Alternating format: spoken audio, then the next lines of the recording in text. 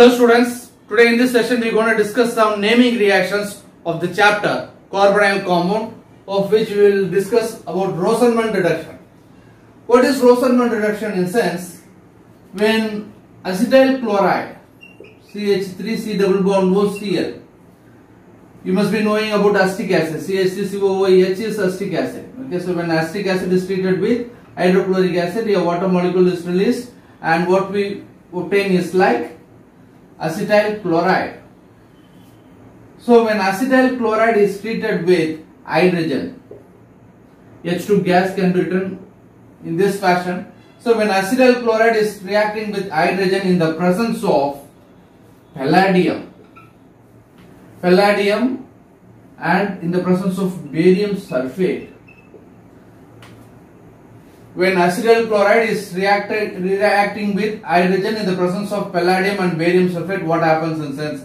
This chlorine combines with this hydrogen and form HCl. So what is this remaining is like CH3, C double bond O, H. Okay, so this is acetyl chloride and the product is like acetaldehyde. So when acetyl chloride is treating, treated with hydrogen in the presence of palladium and barium sulfate, we get acetaldehyde. Here palladium acts as a catalyst and barium sulfate acts as a catalytic poison.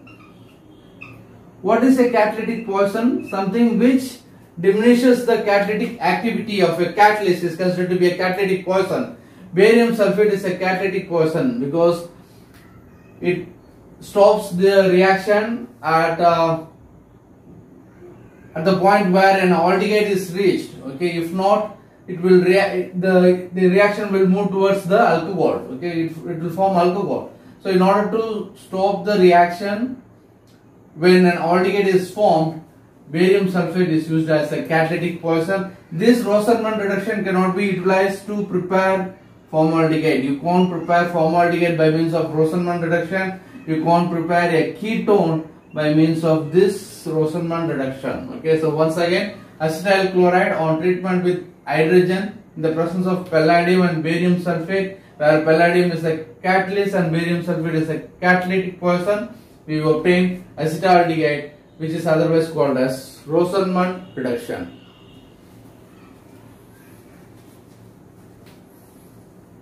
So far we discussed about Rosenmund reduction. Now moving to Stephen's reaction.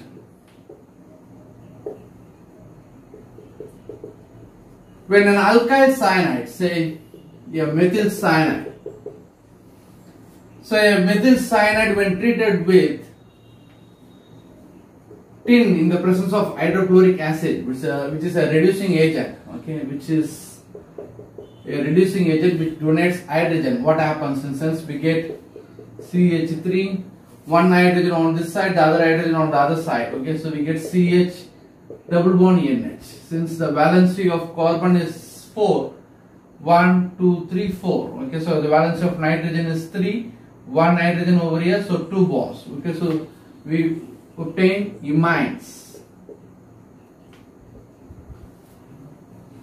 So this on hydrolysis, this on hydrolysis, hydrolysis in sense treating it with water okay so water in the presence of an acid we get H2O in the presence of water we get H3O plus ions okay? So what happens? Okay so this double bond can be broken down. Water can be splitted into O and H2 H2O okay so what this end becomes NH3 ammonia. Whereas the other end becomes CH3 C double bond O and H. We get CH CH4 which is otherwise called as acetaldehyde.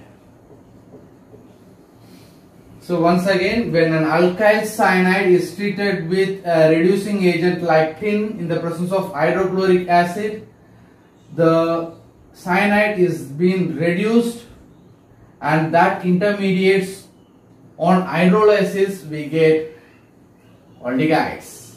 This method is otherwise called as Stephen's reaction. So Stephen's reaction is a reaction uh, in which alkyl cyanides are converted into aldehydes in the presence of tin and hydrochloric acid.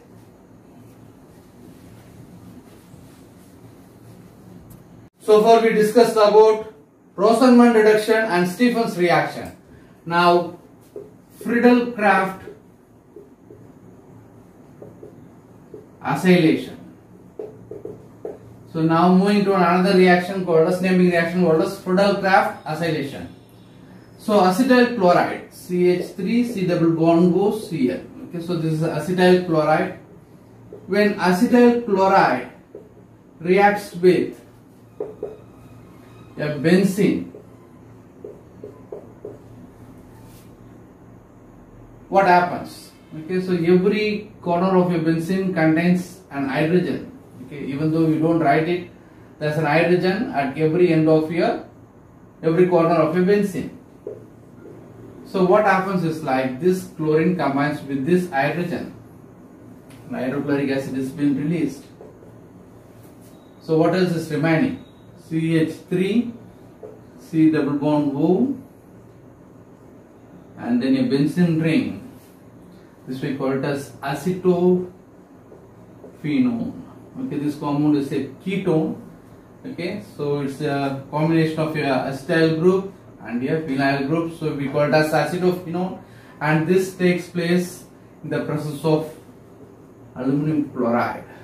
Okay, so in the presence of aluminum chloride, okay, this reaction takes place in sense this is otherwise called as Friedel-Crafts acylation. So Friedel-Crafts acylation is nothing but when acetyl chloride reacts with benzene, hydrogen and fluorine combines together to form hydrochloric acid and what else is remaining is like CH3CO and a benzene ring is formed and this is otherwise called as acetophenone. That's Friedel-Crafts acylation. How shall we prepare a benzophenone? Okay, instead, instead of taking a acetyl chloride, we can take a benzoyl chloride. Okay, so you can convert this as a benzoyl chloride. Okay, when you there's a benzene at one end, so this becomes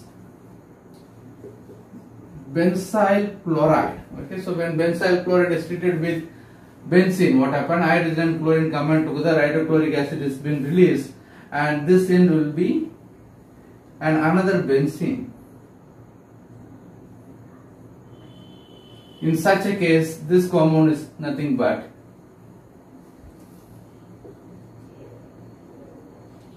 benzophenone. Okay, so even this reaction is otherwise called as Friedel-Crafts acylation. So Friedel-Crafts acylation is a reaction in which an acetyl chloride can be converted into acetophenone. Even a benzyl chloride can be converted into a benzophenone in the presence of aluminum chloride as catalyst.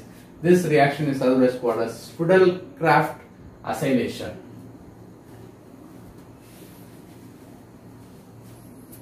Now we shall discuss about a commercially important product called as urotropine.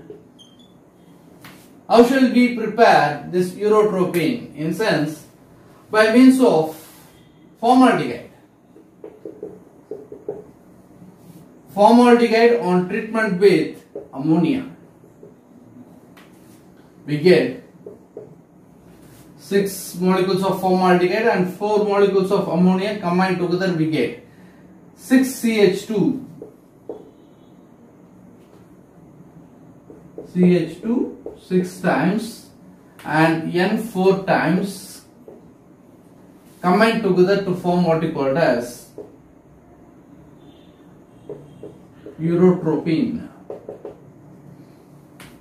Once again formaldehyde whose formula is HCHO and ammonia NH3 6 molecules of this formaldehyde and 6 molecules of formaldehyde and 4 molecules of ammonia combined together to form what we call as urotropine. Actually what happens is like this 6 times of CH2 and 4 times of nitrogen combined together to form urotropine.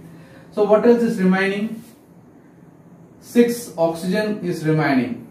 4 3 are 12 hydrogen is remaining. So this can be written as H2O 6 uh, 6 2s are 12 so we have 4 3s are 12 hydrogen over here and 6 oxygen 6 oxygen over here okay? So this compound is called as urotropine uh, it can also be called as hexamethylene tetra tetraamine okay?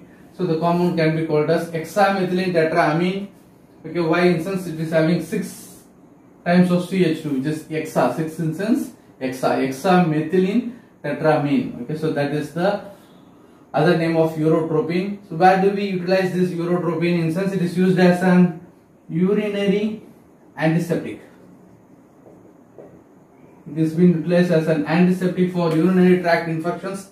So it is urinary antiseptic, commercially important product. It's a drug which is used as an urinary antiseptic and nitration of this urotropine we get a explosive called as cyclonite. Cyclonite is an explosive which is obtained by the nitration of this urotropine. Okay, and uh, the structure of this urotropine is also very important that we're gonna right now. So we discussed about urotropine whose formula is CH2 6 times and N4 times. Now the structure of urotropine nitrogen, carbon, nitrogen, carbon, nitrogen, carbon. Make a ring of this kind. Okay nitrogen carbon nitrogen carbon nitrogen carbon. And then from nitrogen once again carbon and then nitrogen and then carbon and then carbon. So connect all the nitrogen with that of your carbon and all the carbon with that of your nitrogen. And now the valency of the nitrogen is already tallied. Nitrogen's valence is 3 1 2 3 1 2 3 1 2 3 1 2 3 so the valence of nitrogen is tallied. The valence of carbon is 4. So 1, 2, remaining 2 hydrogen. 1, 2, so remaining 2 hydrogen. 1, 2, so remaining 2 hydrogen. 1, 2, so remaining 2 hydrogen. 1, 2, so remaining 2 hydrogen. 1, 2, so remaining 2 hydrogen. Make all the carbon as CH2. So that's what is 6 times of CH2 and N times 4 times of N. Okay, so count the number of nitrogen 1, 2, 3, 4. Count the number of CH2 1, 2, 3, 4, 5, 6. So this is the structure of urotropine. Now we will discuss about Clemmensen reduction.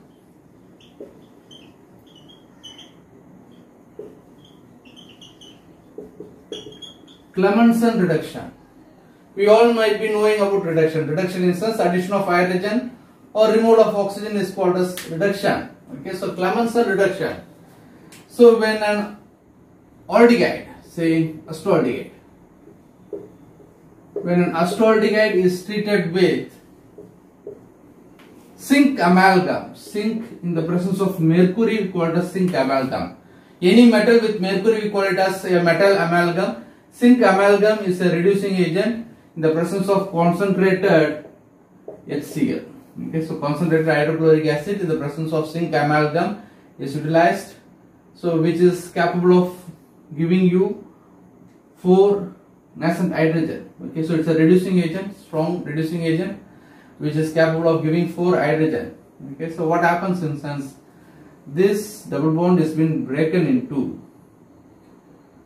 This double bond is broken and this oxygen gets to hydrogen and this end gets to hydrogen. So hydrogen and oxygen that combines together to form water molecule. That's 2O. So what else is remaining? CH3, CH3 is remaining. CH3, CH3, ethane. Okay. So an aldehyde can be converted into an alkane by means of reduction in the presence of zinc amalgam and concentrated hydrochloric acid in sense then that reaction is otherwise called as Clemmensen reduction. So once again Clemmensen reduction is a reaction in which an aldehyde can be reduced into an alkane by means of what we call as zinc amalgam and concentrated hydrochloric acid then the reaction is considered to be Clemmensen reduction instead of an aldehyde even a ketone okay CH3 COCH3 Instead of taking an acetaldehyde, we can take acetone. In the presence of zinc amalgam concentrated hydrochloric acid again what happens? 4 hydrogen will be released and what happens? Oxygen combines with 2 hydrogen and form water molecule and this end will become CH3 CH3 CH2 CH3 okay so it becomes methane ethane propane. Okay so once again even a ketone can be converted into an alkane and aldehyde can be converted into an alkane by means of reducing agent like zinc amalgam in the presence of concentrated hydrochloric acid is otherwise called as Clemmensen reduction. So we discussed about Clemmensen reduction. Now moving to Wolff-Kishner reduction. Wolff-Kishner reduction. It's a naming reaction. So what happens in sense an aldehyde. So an acetaldehyde CH3 C double bond O H. An acetaldehyde can be taken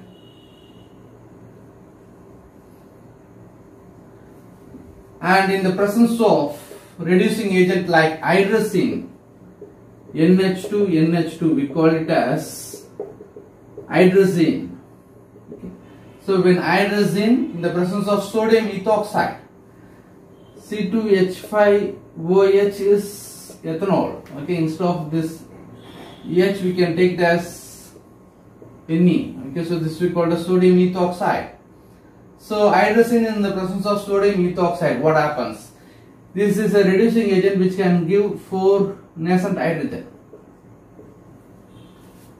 Okay, so what happens? 2 hydrogen over here and 2 hydrogen over there. Okay, so what happens? H2O is been formed. CH3, CH3. Okay, so CH3, CH3. So night hydrazine is having 4 hydrogen. All the 4 hydrogen is been given. So what else is remaining? 2 nitrogen is remaining. So that nitrogen liberates the form of a gas N2. Okay, so once again an aldehyde, the presence of hydrazine and sodium ethoxide. So this we call the sodium ethoxide. So when hydrazine and sodium ethoxide is treated with an aldehyde, what happens? It is capable of giving 4 hydrogens so oxygen combines with two hydrogen and form water molecule and an alkane is obtained. This is the case of an aldehyde. What if a ketone is treated with the same hydrazine? Okay, so ketone, say let us take acetone this time. Okay, instead of acetaldehyde, we can take acetone. So when an acetone is treated with hydrazine and sodium ethoxide, what happens? it provides it generates four hydrogen four hydrogen of which two hydrogen combines with oxygen and form water molecule two hydrogen combines over here to form CH3 CH2 CH3 so we get CH3 CH2 CH3 so we get methane ethane propane. And then two nitrogen combine together to form nitrogen gas. Okay so a ketone can be reduced to an alkane. An aldehyde can be reduced to an alkane. In the presence of a catalyst, in the presence of a reducing agent like hydrazine and sodium ethoxide. Such reactions are otherwise called as Wolff-Kishner reduction. Hope you all enjoyed today's class. We have a lot more to discuss and we will discuss in the forthcoming sessions. If you like my videos, you can like, share and subscribe. We'll meet with a different concept in a different session. Until then, bye.